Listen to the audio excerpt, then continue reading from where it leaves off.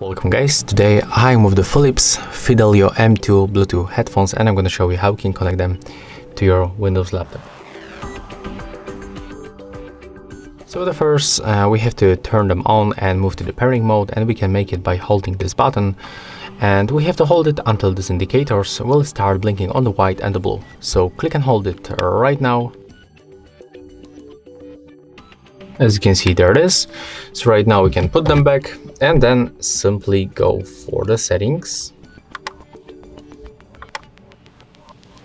go for the left side bluetooth and devices select add device and select bluetooth take a look on available devices list select your philips click on it once and after a few seconds we are successfully connected so that's all for this video. If you find it helpful, just remember to leave a like, comment and subscribe.